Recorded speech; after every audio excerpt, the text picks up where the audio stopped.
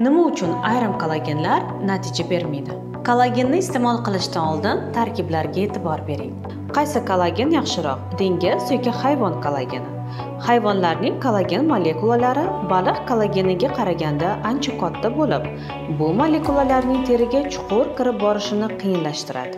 Bundan tashqari kollagen tarkibida vitamin c bo'lishi zarur chunki vitamin c askorbin kislotasi bu oqsil moddani organizmga tezroq so'rilishiga olib keladi. Eng asosiysi esa laminariy dengiz o'tlari ham kollagen tarkibida bo'lishi muhim.